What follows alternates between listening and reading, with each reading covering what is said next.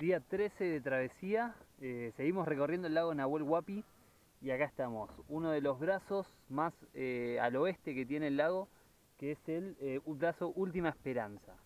Aquí estamos, brazo Última Esperanza. Espectacular. El día, la vista.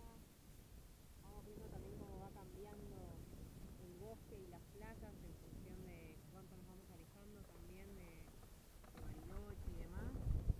Vamos acercando a Villa Langostura y pasando a Villa Espectacular.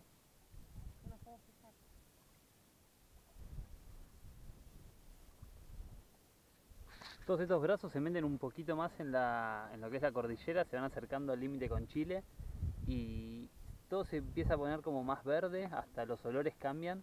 Este es un brazo chico, eh, entonces como que se concentra todo, las costas están muy cerca, ambas, no es, un no es muy ancho el brazo y la verdad que está muy lindo. Una linda sensación este brazo. Sí, la verdad que sí. Aparte está muy tranquilo, obviamente.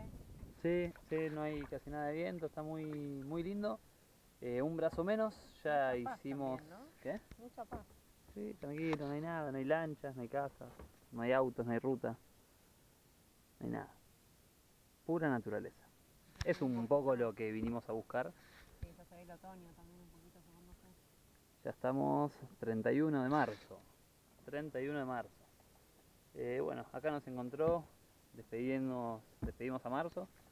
Y bueno, ahora nos vamos para el brazo eh, Rincón.